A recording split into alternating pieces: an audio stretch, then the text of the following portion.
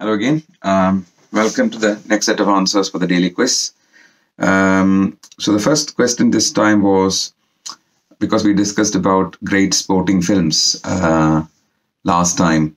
Uh, I thought we will um, continue with the theme, um, and uh, I've shown the photograph, black and white photograph of a great athlete who inspired one of the greatest sporting films of all time, and he's none other than Eric Liddell.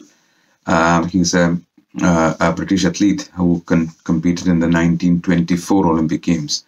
He had strong religious beliefs and he was this missionary background, and he re- when he realized that the 100 meters, which is his pet event, was going to be the qualifying rounds, the 100 meters was going to be held on a Sunday.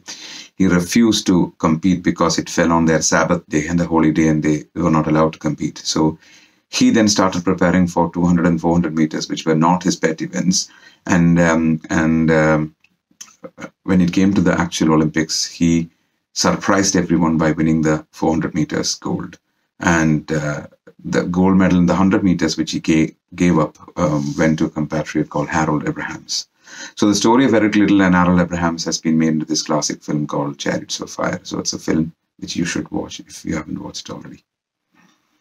The second question was um, a photograph uh, uh, of a, an actor playing a very uh, probably the most important role of his life. And the question was, which historical character is this actress playing actor playing in this iconic film? As you would know, that is from the film Braveheart, which was directed by Mel Gibson himself, and with him playing the leading role. And he's playing the role of the great um, Scottish freedom fighter William Wallace, who fought the English valiantly.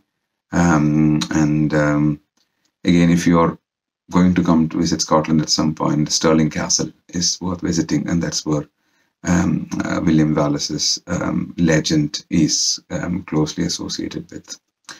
Last but not the least, the world hardly remembers Nobel Prize winners Ernst Boris Chain and Edward Abraham, but we do remember the person who they shared the Nobel Prize with in 1945. Who is that? None other than Sir Alexander Fleming, uh, who is credited with the discovery of antibiotics by his serendipitous discovery of penicillin. Uh, and he realized that some of the slides he had set, set aside became moldy, and the mold actually stopped the bacterial growth of staphylococcus. And that's how this first came into focus accidentally. And then he worked on it, and then, as the rest, as they say, is history. And last but not the least, um, what is the connection between these three clues? The connection is Scotland. Eric Liddell was Scottish.